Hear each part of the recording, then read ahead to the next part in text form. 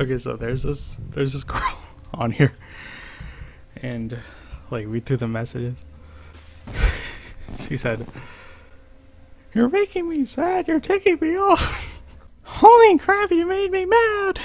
Oh, I was. Stop! I'm a girl with a temper."